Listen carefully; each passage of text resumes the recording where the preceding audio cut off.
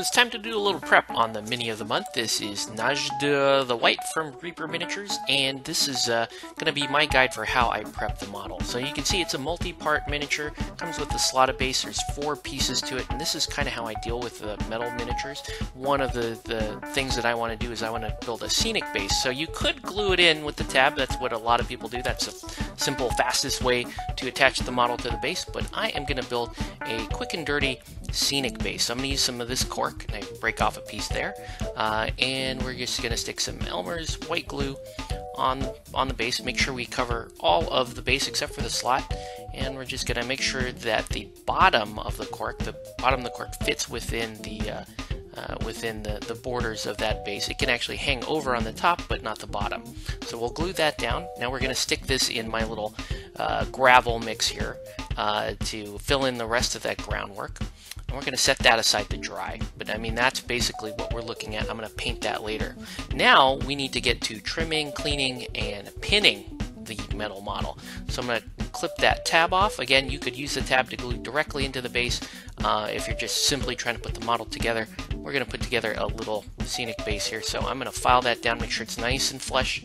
Uh, so I'm using a needle file to do that, and I used uh, uh triangle clippers or angle clippers to get the, uh, the tab off. We're also going to remove the two horns and the trophy rack and the uh, the staff from the metal sprue. So we're going to remove that uh, and we're going to file off the little burrs and edges that are created from that because that's going to allow us to pin. Now pinning typically involves a, a pin vise uh, and paper clip. Uh, you can see I used a hobby knife there to kind of give myself a, a sight uh, that you just press the edge of the hobby knife in and kind of make a little crosshair so that the uh, the drill bit of the pin vise can grab. But I decide that uh, I'm actually going to switch up that size uh, and I'm using instead going to use a drill bit and some really fine wire. So here's the, uh, I'm going to just fast forward to uh, the pinning done because that was really uh, not a good process to capture on camera with uh, how fine those pins are. And in fact, uh, this is probably a little bit of overkill, uh, especially with the horns in the trophy rack. But I do strongly recommend pinning the staff hand there. And we're going to pin the base here. So I, you can see I drilled into that rock base a couple of millimeters, cut out a little piece of uh, of the paper clip and we're ready to go. So now I'm going to put the uh, I'm going to put the horns in. I've already pre-drilled the holes, but I need to trim the, the actual those little wire pins down so that it fits into the slot.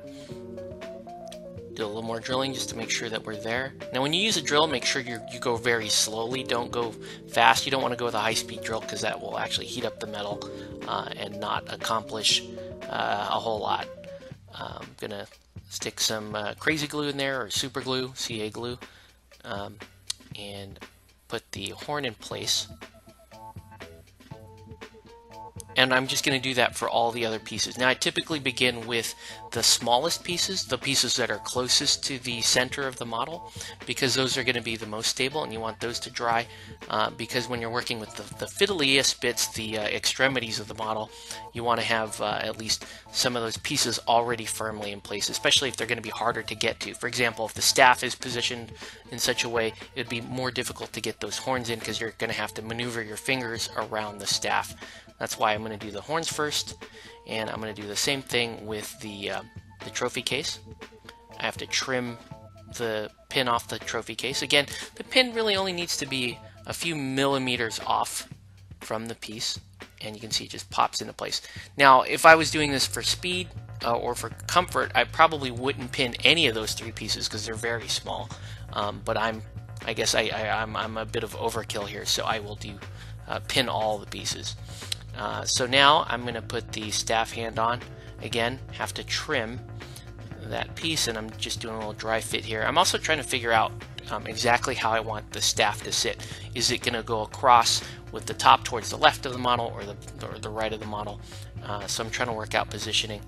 Uh, and uh, I'm actually decide not to go that configuration. I want to do something a little bit different, have the staff kind of crossing against the body there. And it's a good idea to dry fit things and make sure that they're good. So there we go. That's going to be the final position.